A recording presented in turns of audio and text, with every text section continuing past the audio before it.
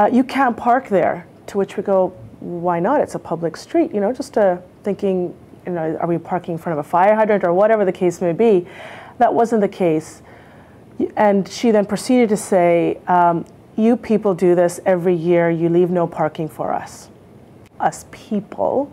Um, I think we just stepped back, and then she, of course, proceeded to use profanity, etc.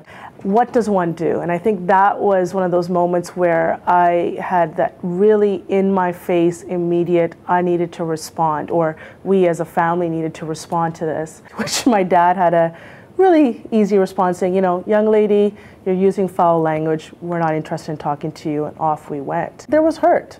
There was real hurt and confusion. I really didn't know how to process this or deal with this.